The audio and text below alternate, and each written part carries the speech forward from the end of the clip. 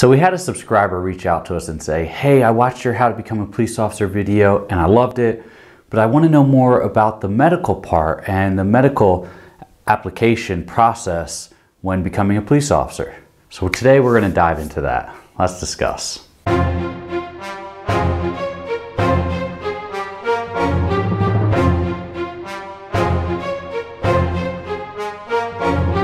So the medical portion is pretty straightforward. There's not much that really deviates. It's a pretty standard medical assessment. Can you lift so much weight? Do you have any medical disabilities? Things like that. However, it is a key thing that we should touch on. It is something that actually affects me every time I apply to a law enforcement agency. And it's something that affects me now, now that I've switched over to training and instruction full time. But the big things to take away from your medical assessment is right off the bat, if you're feeling like your medical assessment is something you're concerned about, can I physically meet the demands of a police officer?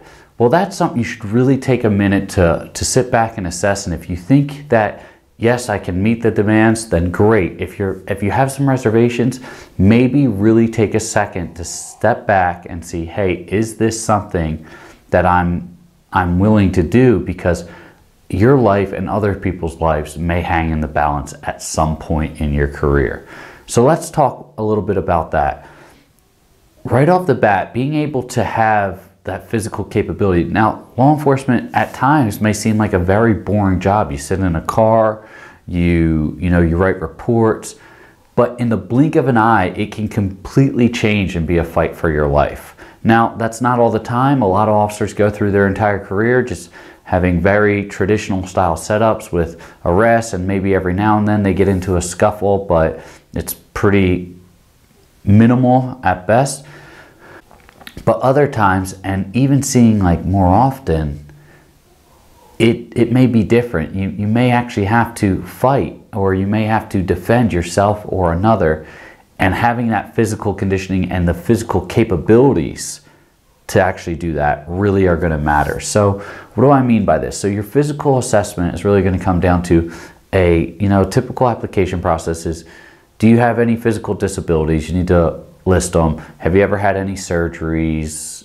Have you ever been involved in in a car accident or have you ever do you have any any metal in your body, you know, just things like that. Very typical medical assessment with the caveat of you're going to do an eye test and you're going to do a hearing test. Now, to give you a little bit of background about me specifically is I have really bad hearing. It's predominantly in my left ear, my hearing is is almost completely shot and I barely squeak by on the police officer application for that. Now, I do meet the minimums and and for most most agencies or departments, you're going to have what is a 40 decibel limit. Um, you can dive more into that, but what it really means is, is do you have like 40 decibels worth of hearing loss? And I don't want to really dive into it because I don't want to misspeak on it. But that's where I'm at. I hit the 40 decibel limit every time I do an audiogram. And it's always something that's always concerned me. Now, I alleviate that by my hearing in my right ear is, is a little better and I can hear pretty well in my right ear. So uh, what I do a lot is I wear an earpiece in my left ear to block out all other noise and I just keep the earpiece in there so I can just hear radio traffic and that seems to work well for me and I don't have any worries or concerns about being able to support my fellow officers or or the community out there. So that's kind of one thing that I meant when I was saying is do you feel confident and comfortable with any of your disabilities being a police officer? So that's me specifically with my hearing.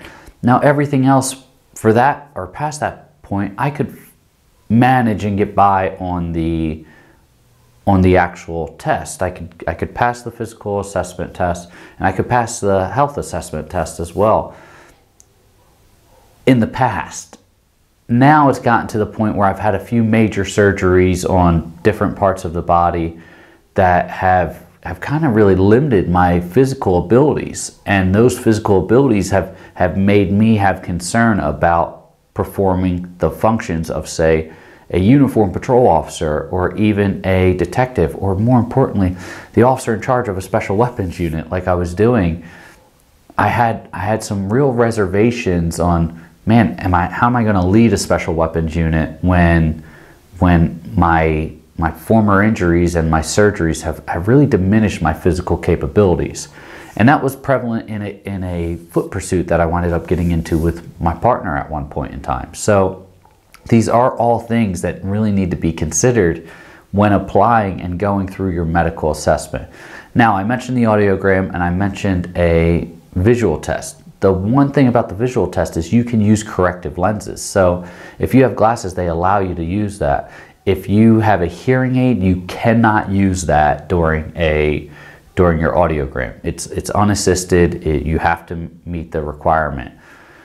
The other aspect is are you able to, you know, some agencies say, can you lift 50 pounds or more? Um, other agencies are really kind of more predominantly focused on can you just pass a basic physical test, which is just nothing more than your doctor's checkup, and also can you pass the actual physical exam or the, the physical test, which is your, you know, say your push-ups, your sit-ups, your sprint, your mile and a half run, or whatever that department or agency you're looking into potentially has.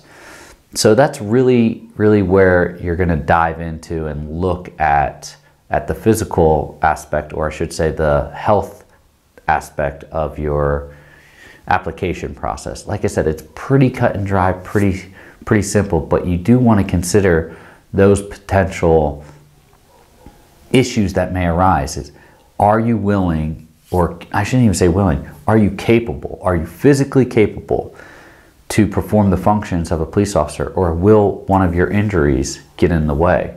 Um, something I was always concerned about is that my shoulder would dislocate consistently. I had to have surgery on it. That's one of my major surgeries that I've had.